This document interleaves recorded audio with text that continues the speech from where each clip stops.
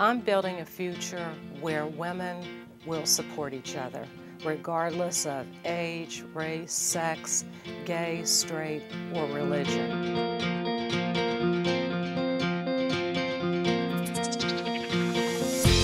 Throughout my life, I have been fortunate to be engaged with issues relative to the elimination of racism and sexism and other groups of individuals who are often forgotten, like people with disabilities. As a transportation professional, I am responsible for providing rides for people who really need the service the most. Persons with disabilities, they have been overlooked in the areas of employment and education because there are those who think they are unable and incapable of doing a job or of learning.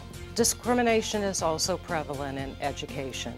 There's this misconception that poor and or minority children are incapable of performing well academically.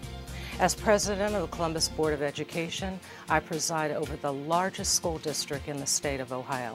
The work is hard, complicated, but rewarding. In addition to making policy decisions for the district, I've had the opportunity to mentor children and encourage them to be their best by focusing on their education. Every time I participate in a high school graduation, I'm reminded of my purpose on the board and can see the fruits of our labor.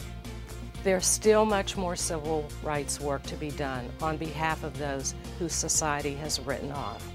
If you can afford the time, work with a child to improve his or her reading skills, or if you can visit someone in a nursing home. If you really want to give a present to yourself, do something for someone else. I promise you, there is no greater feeling. Thank you to the YWCA for this meaningful honor.